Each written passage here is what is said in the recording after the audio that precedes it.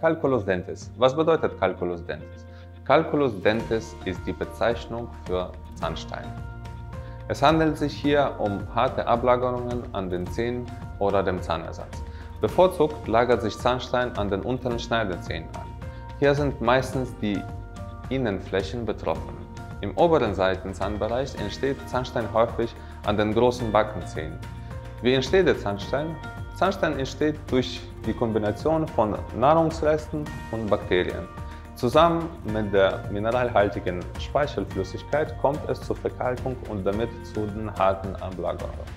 Bereits nach einer kurzen Zeitspanne von wenigen Stunden kann sich aus dem weichen, anhaftenden Belag Zahnstein entwickeln. Eine gründliche Zahnpflege und eine professionelle Zahnreinigung einmal jährlich beugen den Zahnstein vor.